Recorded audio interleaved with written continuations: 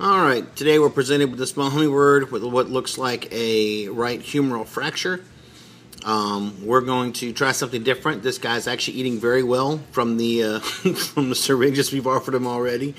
So I am going to try a procedure where we're going to try and tape up this wing, kind of a modified figure eight without the eight. anyway, um, and since this guy's doing so well and responding to so well to our feedings, we're going to go ahead and try this with him um, and or her. I'm not trying to be sexist here but uh, too cute.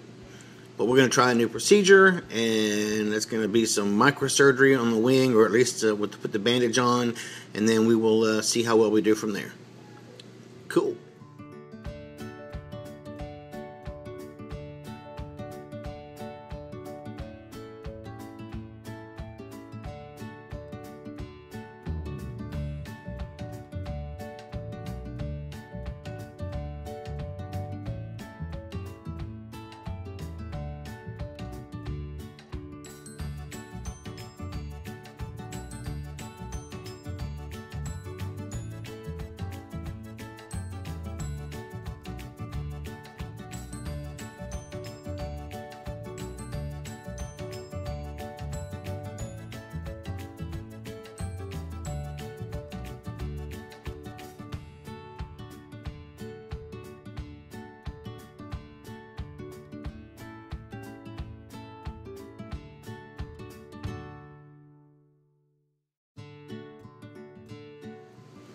Hey.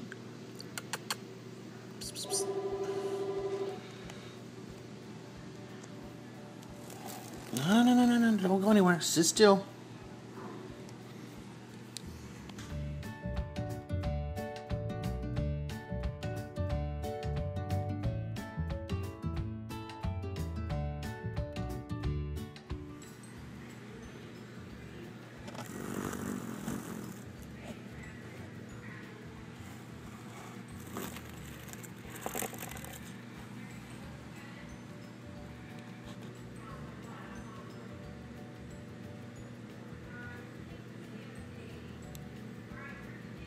Very cool.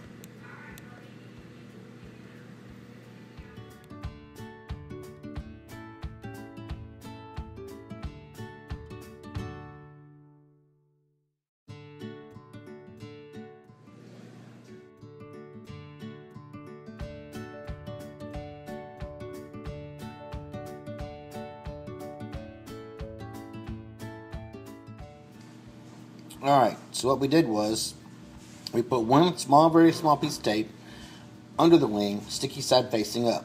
Another piece of tape with a round circle that's going around his body you see there with the sticky side facing down.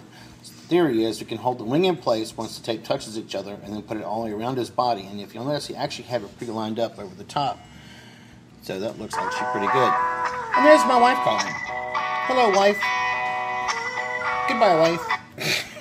I'll call you later. So anyway, that's not so bad, and uh, we're eating, so that's good news.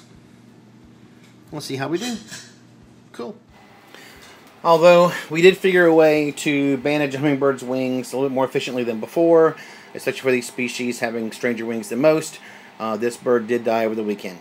So uh, rest in peace, little buddy. We learned much, and thank you for your help.